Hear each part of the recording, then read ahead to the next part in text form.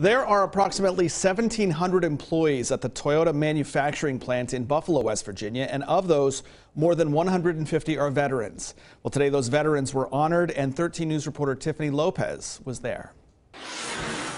You can't help but look at this wall and look at what it represents and not be a little bit patriotic about the message that it's sending. It's a wall of honor. Today at Toyota Manufacturing in Buffalo, there was a special ceremony for the veterans and active service members who work here.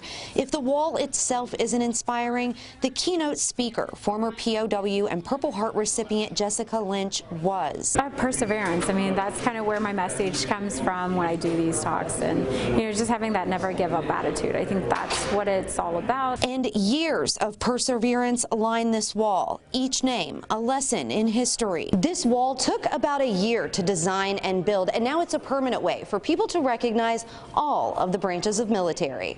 The, the whole meaning behind the wall, that's where it gets special. There are six Toyota employees currently deployed on active duty, each name with a yellow ribbon. A reminder their co-workers want them home safely. We're thinking about them and they're being recognized by their team members even while they're while they're gone. The writing on the wall is in the memories of those who serve, and at Toyota, those who serve are in the hearts of many. In Buffalo, Tiffany Lopez, 13 News, working for you.